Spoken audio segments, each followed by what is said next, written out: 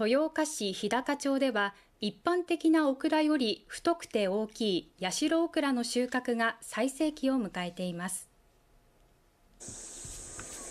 豊岡市日高町八代地区で60年以上前から栽培されている伝統野菜の八代オクラ。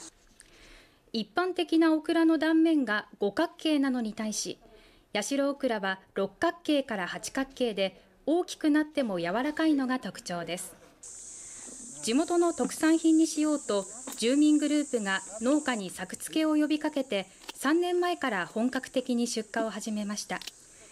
今年は空梅雨の後天気がぐずつき生育が心配されましたがその後の猛暑でまずまずの出来に仕上がったということです。大きいんですがあ柔らかいというかその期待を裏切ってくれる柔らかさがある。通常のオクラはふにゃっとしてしまうんですけどもヤシロオクラはサクサクッと噛めるような柔らかさというかビタミン B1 およびビタミン C が多く含まれてますので夏バテには最高です。八代オクラの収穫は10月上旬まで続き大阪を中心に出荷されるということです。